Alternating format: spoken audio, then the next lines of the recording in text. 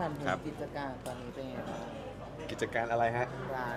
ปิดไปแล้ว อ่า ปิดไปแล้วครับ ปิดไปนานแล้วครับสามสี่เดือนมันไม่ไหวสามแล้วเดือนคือมันไม่ไหวตั้งนานแล้ว ตั้งแต่เอ่อช่วงโควิดรอบแรกเราก็พอยื้อยื้อไว้จนสุดท้ายมันก็ไม่ไหวจริงๆครับอันนี้เราปิดแล้วเป็นตั้งแต่เดือนไหนเอ่อเรื่องเดือนเนี่ยผมไม่แน่ใจแต่แต่ก่อนโควิดรอบสองครับ ปิดไปก่อนโควิดรอบสองจะมาก็ปีที่แล้ว อืมใช่ใช่ใช่ขา ย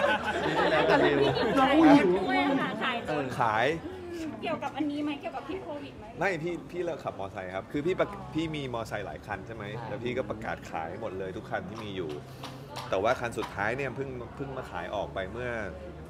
เดือน 2 เดือนที่ผ่านมาครับ แต่จริงๆอะผมประกาศขายมา 2 ปีแล้วแต่ขายไม่ออกเพิ่งมาขายออกตอนนี้ครับ คนก็เลยไปเข้าใจว่าเป็นเพราะพิษโควิดทำให้พี่นิวต้องขายรถขายมันก็ส่วนหนึ่งมันก็ส่วนหนึ่งคืออะไรที่มันเป็นภาระเราเราไม่อยากเก็บไว้ไงแล้วผมก็เลิกขี่มอเตอร์ไซค์ไปแล้วครับ จอดไว้มันก็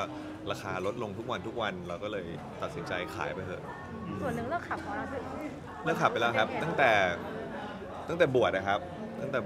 เลิกขับตั้งแต่ก่อนบวชศึกออกมาแล้วก็ยังไม่ได้จับมอเตอร์ไซค์อีกเลยครับ ก็เลยคิดว่าเก็บไว้คงไม่มีประโยชน์เท่าไหร่มีแต่ภาระแล้วมีค่าดูแลค่าอะไรเงี้ยเราก็ปล่อยไปดีกว่าครับ จริงๆมีคนขอให้เราไม่ขับมอเตอร์ไซค์เนอะด้วยความที่มันอาจจะเกิดอุบัติเหตุง่ายก็ไม่มีใครเห็นด้วยกับเราตั้งแต่แรกอยู่แล้ว พ่อแม่ก็ไม่ชอบนะครับ ไม่มีใครชอบเลยให้ขับ แต่คือมันเป็นความชอบส่วนตัวของเราอะแต่หลังๆมาเนี่ยมันก็เหนื่อยด้วยตามวัยนะมาทำทำงานแล้วมันเลิกดึกต้องมา ขับมอเตอร์ไซค์กลับบางทีแบบก็อยากนอนมากกว่าอะไรเลยนะคแล้รัวบคุณนาไว้พี่มันเวลาซ้อมมอเตอร์ไซค์เรารู้ว่าเขาไม่ชอบเขาผมไม่เคยให้น้องซ้อนอยู่แล้วครับขับเองคนเดียวอืมแล้วเมื่อไหร่จะมีข่าวดี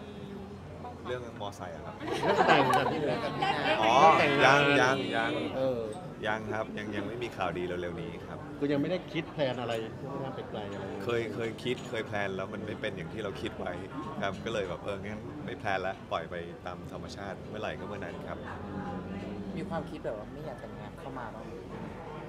ผมว่ามันก็เปลี่ยนไปตามช่วงอายุนะ คือ คือมีช่วงหนึ่งที่อยากแต่งงาน อยากมีลูก อยากมีครอบครัว